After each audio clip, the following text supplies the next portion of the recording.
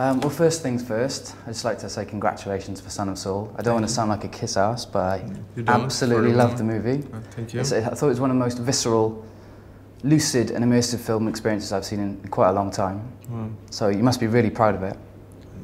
I don't know about that. I only see the, you know, the mistakes I made. Um, but f- for, for those who haven't seen the film or don't, might not know that much about it, can you give a, a really brief overview about what it's about? It's about uh, it's one day in the in the crematorium of Auschwitz in 1944. Uh, it's the story of one man who is supposed to burn the bodies at the crematorium, the bodies that have been gassed, uh, and he finds the body of one boy, and he thinks that uh, this boy is his son, and he tries to bury the son and uh, while doing so, he turns away from the others in the in the in the group, the commando, trying to rebel. So that's the story of this day, Okay, and less. for your, for your first feature film, what made you decide to tackle such a difficult and sensitive subject matter as the Holocaust? Didn't fancy starting off with a rom-com or anything? I wanted to talk about it. I just didn't know how, and uh, it took me years to figure out how I, I would do it. Uh, obviously, I didn't want to do the historical, usual historical film. Uh, you know, with this, with the same, you know, with same approach. I wanted to find something different because I, I thought that what we're losing with these films is the, the individual experience, the inside you, as opposed to you know, telling a story from the outside, a sort of remote perspective, and and stories, you know, jumping from one character to to, to another. I really wanted to focus on one human being because being on, you know, making this portrait of one human being, we would um, uh, concentrate on the on the human experience and and and you know uh, by by restricting the point of view and restricting the uh, the focus, you leave a lot of uh, uh, a lot of space out of the frame, and you actually use the imagination of the viewer to convey something, a sort of intuition of what's going on around, and, and the craziness and the frenzy of the camp.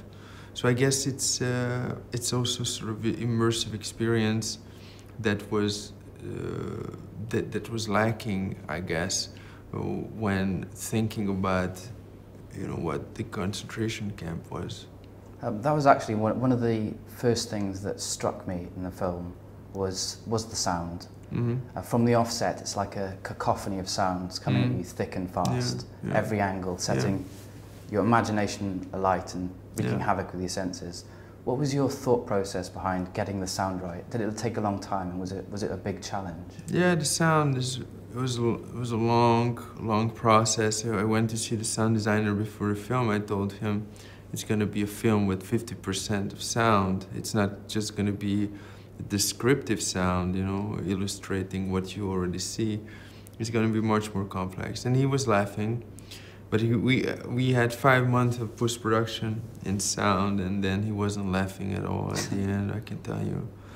Uh, but he, he kept focus. The, the image is uh, very restrictive, so we leave a lot of you know possibilities for uh, for the viewer to imagine what, what's going on, and the sound is actually there to uh, to suggest that there is much more than only what you can see, and uh, so it's it gives you different levels and layers of uh, and uh, within the immersive experience.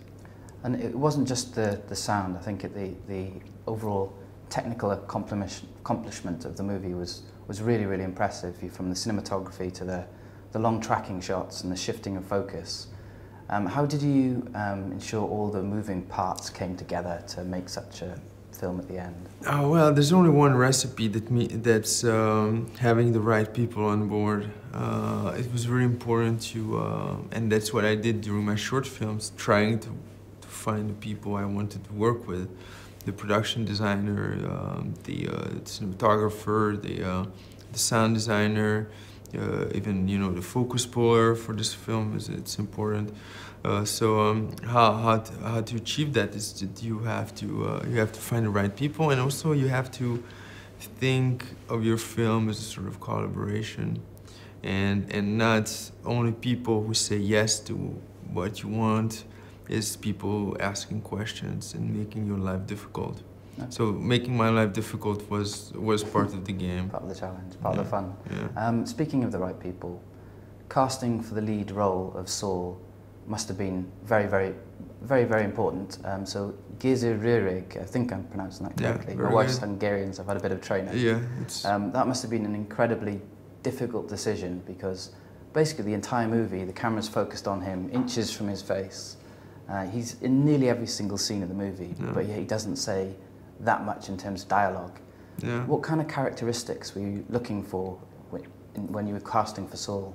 I was looking for someone who already is my main character in life, in a sense. He already has this, um, you know, stubbornness or obsessive way of being. Uh, he is he's like that.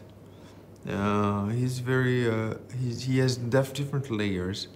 He's very physical and very uh, uh, intellectual at the same time, or, or uh, he can be very spiritual.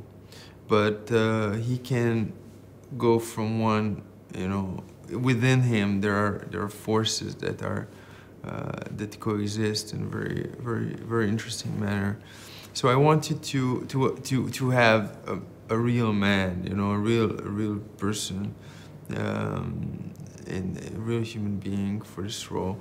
And I knew him from before, and uh, it just you know in the process of casting, we wanted to cast a established actor, but but but it just didn't make sense when we knew we knew already what kind of approach we would have and and it required uh, someone who is uh, who is believable as a as, as as as an ordinary human being, but at the same time has a sort of other level, which is uh, you know unsuspected forces within him. Okay. I thought he was brilliant, by the way, and so much of the film was with his reactions as well. Yeah. But, um, I was just wondering who your inspirations were within filmmaking and what made you want to become a filmmaker.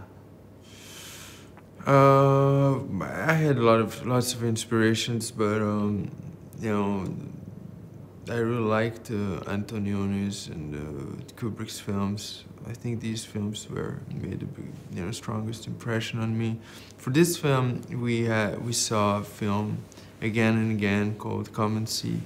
It's a Russian film for uh, from the 80s. It's a very uncompromising, very strong film uh, on the Eastern Front in 19 in the 19 early 1940s. It's uh, it's very powerful, very organic film, and uh, and we it was our reference for this film. Okay, and finally, what's next for Laszlo Nemes? Do you have any plans to direct any an English language feature film? Well, I have plans, but I don't want to rush, so uh, I'm taking my time. I have a, my next film lined up for. Um, uh, to, to be shot in Budapest. It's, an, it's a 1910 Budapest film, a story of a young woman in a thriller, coming of age film.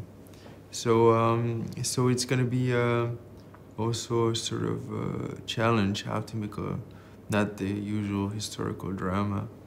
Well, I look forward to it. Well, thank you very much, Laszlo. It's been Thank a pleasure. You. Ladies and gentlemen, you're watching Hey You Guys! Hey You Guys, huh? Hey You Guys. Is yeah. that from the Goonies? It is indeed, Nice. Hey!